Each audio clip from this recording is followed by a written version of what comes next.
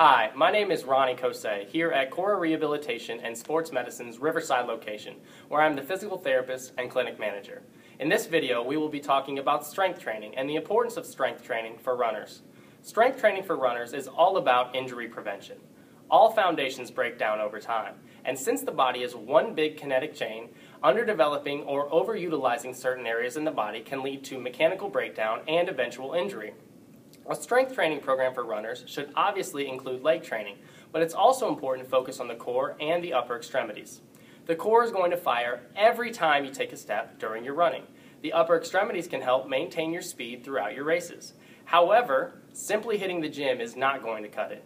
To best reduce risk of injury, adding cross training such as swimming or cycling develops muscles underutilized by running alone and creates better balance in the body.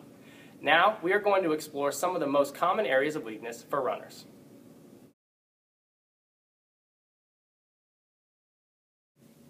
Here Julie is demonstrating strengthening the hip flexors. The hip flexors are important because they go from the upper leg to the pelvis and the lumbar spine. Any weakness in this group of muscles can cause an imbalance when you're running. Here Julie is demonstrating marching, a progressed version of marching with resistance with a TheraBand you can add an ankle weight or TheraBand for resistance. If this is too challenging for you, you can take away any resistance and perform a simple march. If balance is your issue, you can stand next to the kitchen counter or put your hand on the back of a chair for stability. In addition, if you cannot stand and perform this exercise, lay on your back and simply try to bring your knee towards your head.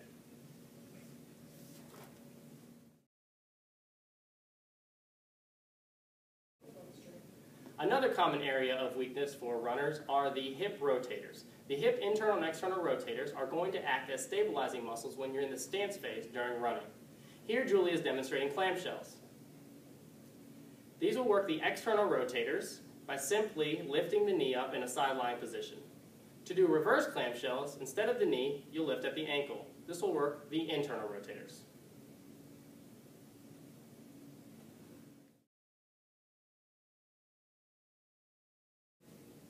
To be the best runner you can be, it's important to have a solid core. Any weakness in your core leads to imbalance, which leads to injury. Having a strong core can help to transfer the forces from your lower extremities to your upper body. Here Julie is demonstrating a plank.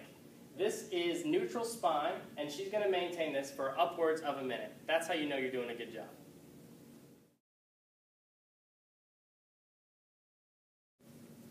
Here Julie is demonstrating alternating arms and legs in a quadruped position.